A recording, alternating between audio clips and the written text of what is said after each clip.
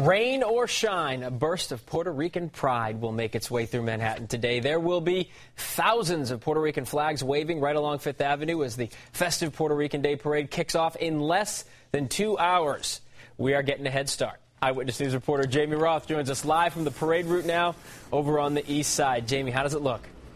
It looks pretty good, Phil. Like you said, two hours until kickoff, but already the crowds have begun to assemble and the flags are beginning to be flown. So no rain on this parade. Jeff Smith, we're going to hold you personally responsible. It is the 52nd annual Puerto Rican Day Parade, the city's largest. More than 80,000 marchers and close to 3 million people will line the streets. Just amazing. The parade marches up Fifth Avenue from 44th to 86th Street and includes delegates from the various towns of Puerto Rico and the various U.S. states, politicians and musicians as well.